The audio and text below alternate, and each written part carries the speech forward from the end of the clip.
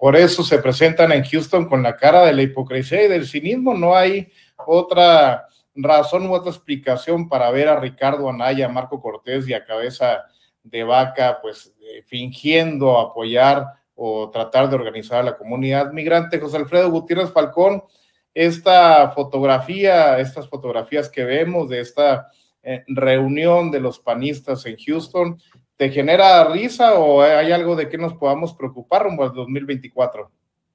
No, creo que definitivamente no, no hay mucho de qué preocuparse, pero sí estar eh, eh, pues, atentos ¿no? A, a, qué puede ocurrir. Debemos recordar que, por ejemplo, ahorita tenemos que el Poder Judicial pues, está a modo de, todo, de toda la delincuencia de cuello blanco.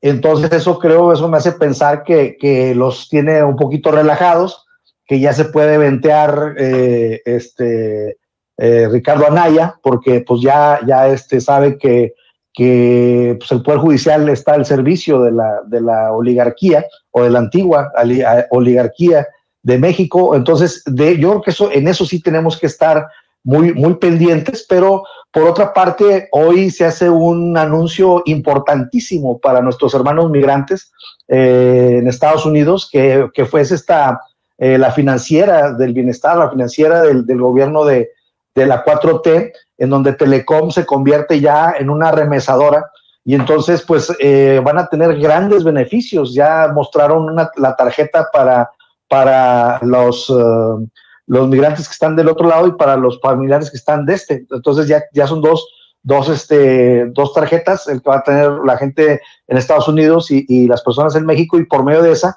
se eliminan las, las comisiones en las, eh, para el envío de remesas.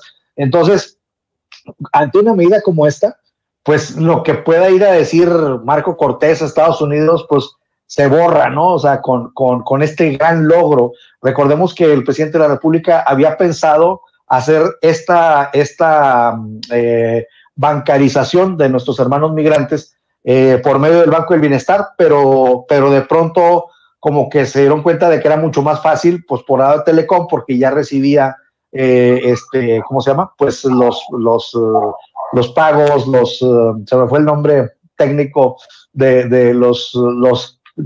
Perdón, se me fue el nombre de cómo cuando nos mandaban que estuviéramos fuera y nos mandaban para que fuéramos a recoger el dinero, tiene un nombre, pero, pero se me olvidó.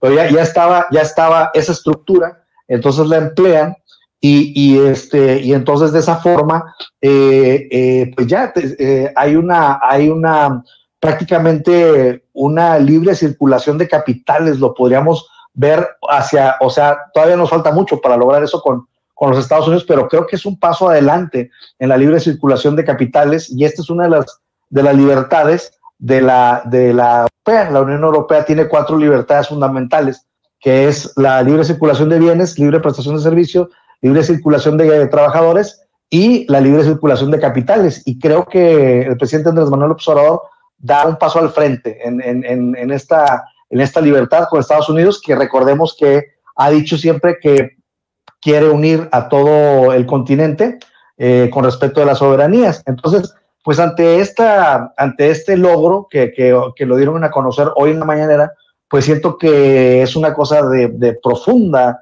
este, beneficio para nuestros hermanos migrantes y para las familias de los, de los migrantes en México, porque al eliminar las, las comisiones, pues se va todo el dinero a, a, o, o, se lo ahorra el migrante o el dinero se lo depositan completo a, a, este, a las personas acá en México.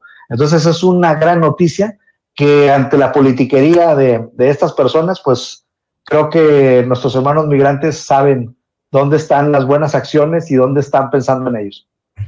De acuerdo, José Alfredo, y sí, pues se ve eh, realmente quién aplica, quién instrumenta políticas públicas en beneficio de la comunidad migrante y no ese tipo de politiquerías al que haces mención, Kurt.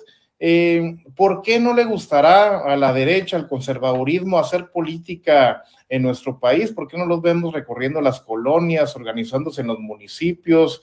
¿Por qué ese temor al pueblo de México? Pero eso sí, pues andar buscando los billetes del extranjero.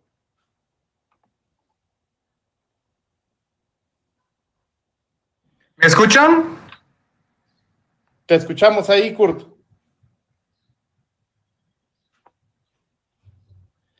Yo, yo creo que vamos a, vamos a pasar con Miguel Martín mientras... ¿Me escuchan?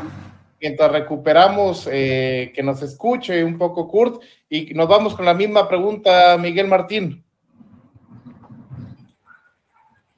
Sí, pues obviamente es, es más bien un pase de charola, ¿no? Un pase de charola internacional más que otra cosa. Es, es, saben que ahí hay, hay, hay, hay fuentes potenciales de financiamiento, saben que hay muchos migrantes que, que igualmente han logrado cierta prosperidad y cierto estatus y pues entonces eh, son realmente pues son unos pilotes como lo son aquí en, en, cuestiones mediáticas y políticas y pues van a, a, agotar ese reducto, ¿no? agotar esa pues esa opción porque para ellos todas las opciones son válidas y, y para ellos todas las, la, todos los lugares donde se puedan presentar como los salvadores de México. De hecho, pues así lo ponía más o menos Marquito, Cortés en su tweet, decía que, que, les van a pedir a los migrantes que los ayuden a, a recomponer el camino, ¿no?